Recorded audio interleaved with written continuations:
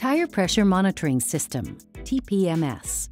The Tire Pressure Monitoring System, TPMS, monitors tire pressure. A check tire pressure warning message will appear, and the TPMS light will illuminate when one or more tires are low on pressure and air is needed.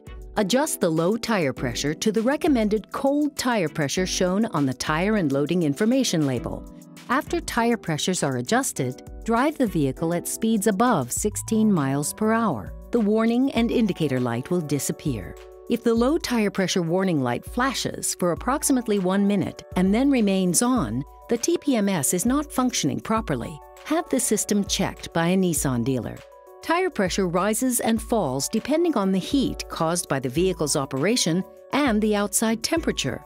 Low outside temperature can lower the temperature of the air inside the tire, which can cause a lower tire inflation pressure. This may cause the low tire pressure warning light to illuminate. If the warning light illuminates in low ambient temperature, check the tire pressure in your tires. The tire and loading information label provides important information at a glance. It lists proper tire size and pressure. It also gives the maximum number of occupants for your vehicle and its maximum load capacity. Please check your owner's manual for the location of the tire and loading information label on your vehicle.